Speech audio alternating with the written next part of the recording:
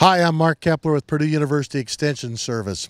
What I want to talk about today is some of the things that have happened with that storm we have in May of 2019, how these different trees in our community have reacted to it, why we have some trees that have uprooted, and also why we have some trees that have, have busted out and fallen apart. So we're going to do that, but what we're going to do first is go out and find ourselves a tree growing in a big area, and we're going to talk about how trees grow and how roots grow. And so we'll go do that right now. So I've come to the parking lot here at Rochester High School to talk to you about how trees grow. And just like I do when I teach fifth grade tree science classes, I'm going to instruct you on a few different things on the growth of the tree. Number one, trees have been around here long before the pioneers ever came. This area was a solid forest at one time with great big huge tall trees growing way up into the sky.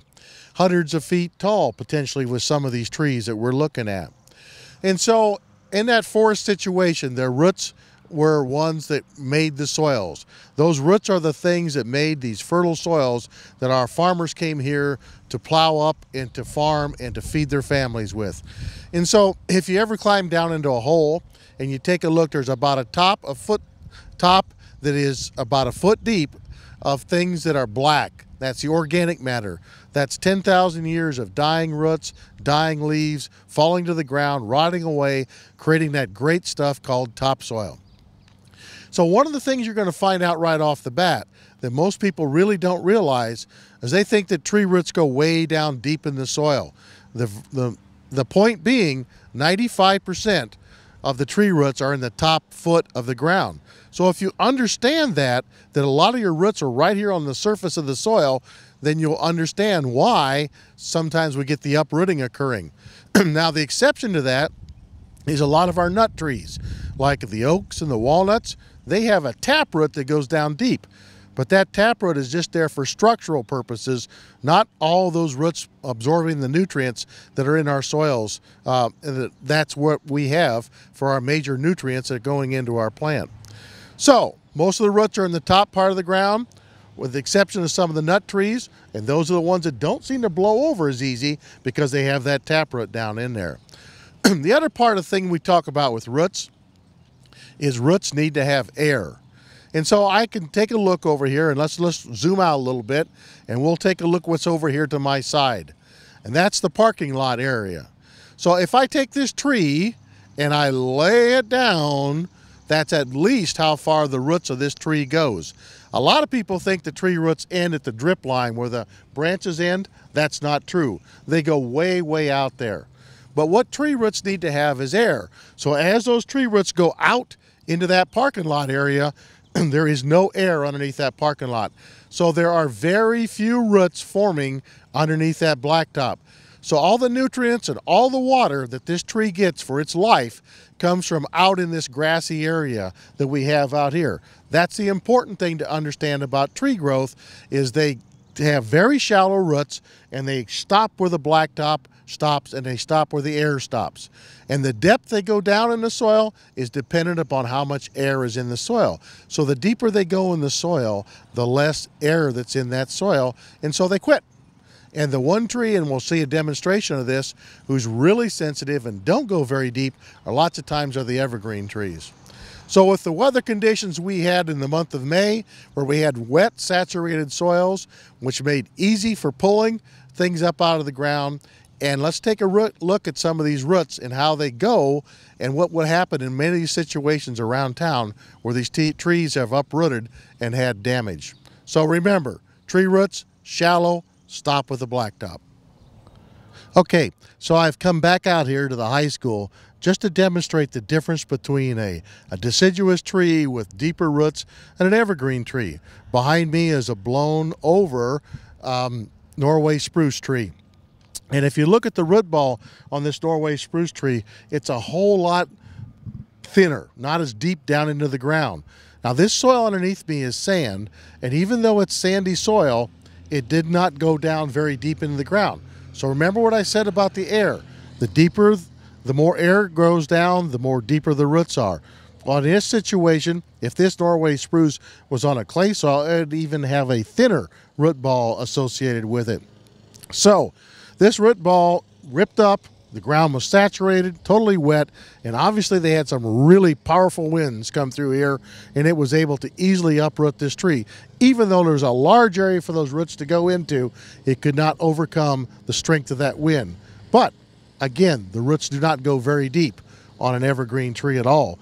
So if we see a very wet spring and high winds, this kind of activity is something that can occur in our area. So I have come back to the tree that we started out with, and I want to take a really good look at the bottom of this area and see how we've got all this road going out this way. That's where the tree roots on this tree stopped. So there's nothing holding it out on this area whatsoever. And so as we go across the road, our we may have a few roots out there, but not very many at all. And then I come back to this area uh, beside the tree that, that we have here. As you look right underneath the tree and look right down here, here's an area where the tree roots were, uh, were underneath this drive. Well, again, this drive have shut off the amount of air getting to the roots. And so consequently, those roots just pretty well stopped right there. So when that wind came out of the south, this tree headed towards the north, and leaned over and had this same problem. And so that's a really good indicator of why these trees uproot. These trees in town do not get to spread their roots out. They get constricted by the roads, they get constricted by the sidewalks, and all the things that people are involved with. And that's why we don't have trees, or why trees have difficulty coming through these storms like we have. Let's take a look at how deep these roots are on this tree. Okay, like I said before, the vast majority of the roots are around the top foot of the ground. So as we look at the root ball of this tree, we see about a foot, a little over a foot and a half maybe, of this compromising the root ball. They are not roots going down deep in the ground, they are roots that are going out shallow. And because we have that shallowness, these trees are not able to hold themselves as well in these windstorms as we would like to have them do that. Now on the other hand, if this was an oak tree, chances are it would not have uprooted, but it may have broke off during the storm if we had a weak area in that tree. And now let's go find one of those oak trees. Okay, I'm back at the high school again and I'm standing in front of a big white oak tree that probably was maybe a couple of hundred years old. Um, and this tree, I want to talk to you about how trees grow again. One of the common things that I ask people is does a tree grow from the outside annual rings or from the inside annual ring.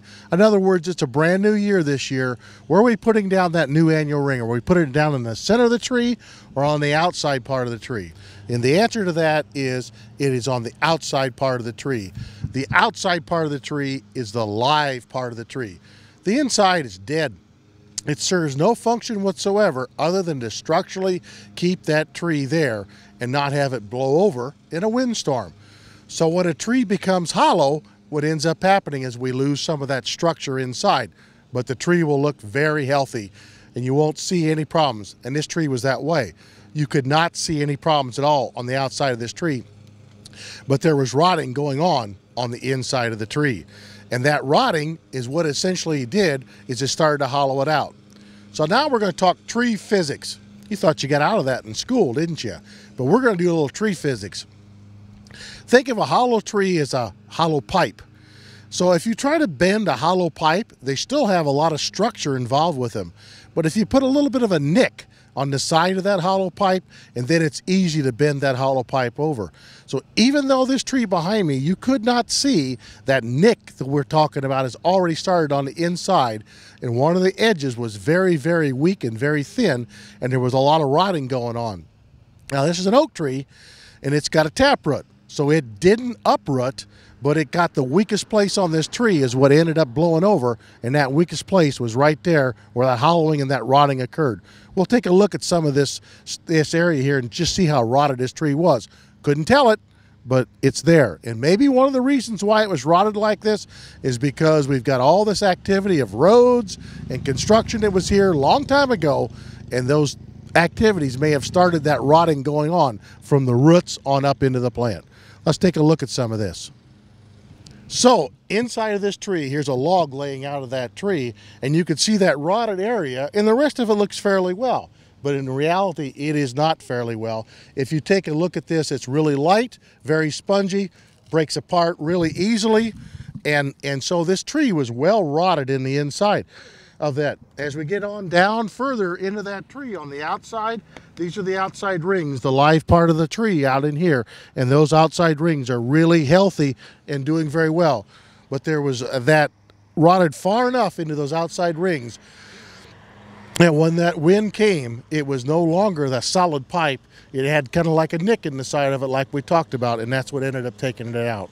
So it's very hard to say whether a tree is good or not. And it's very hard and difficult to know whether you've got a good tree out here. One of the things they have to do is go around with a hatchet and basically hit it on the back side of the hatchet, knock it, and listen to see if we can hear a hollowness to that tree. And that's exactly what we could do in a lot of our trees in our community. But sometimes we'll see some of that hollowness is way up in the top of the tree and we don't know that's going on. So just to reflect back on this, lack of area for tree roots to grow, lack of oxygen in the soil, something that may have triggered a rot going on inside the tree, probably came out of the roots and came on. These are all reasons why our trees in town are more susceptible to our winds and our storms that come along. But gee, it, what would this town look like without all of our great, beautiful trees that we have around here and all the beauty they give us and the value they give us? So a storm like this is something we end up having to pay for every once in a while, but in the long run, we get a lot of good and a lot of growth out of our trees. This is Mark Kepler, Purdue University Extension Service.